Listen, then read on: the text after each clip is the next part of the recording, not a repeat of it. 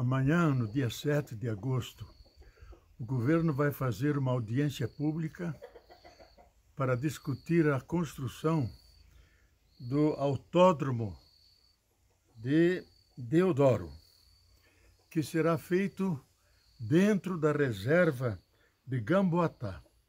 Gamboatá é uma reserva extraordinária, com cerca de 200 mil árvores. Árvores que retêm mil metros cúbicos de água e selva essa, mata essa, um resto da Mata Atlântica, que sequestra o carbono, purifica o ar. Essa decisão significa um crime, um crime contra o povo, porque ele merece um ar puro, uma paisagem, uma floresta preservada. E um crime contra a natureza.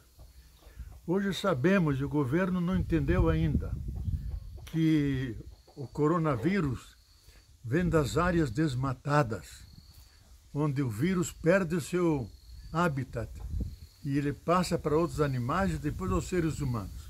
Então é importante preservar essa floresta, porque senão ela comete duas injustiças, contra o povo e contra a própria natureza. É importante que defendamos essa riqueza natural extraordinária, porque ela é importante para a vida do povo e é importante para a própria vida da natureza. Participemos dessa audiência pública para derrubar essa eventual decisão.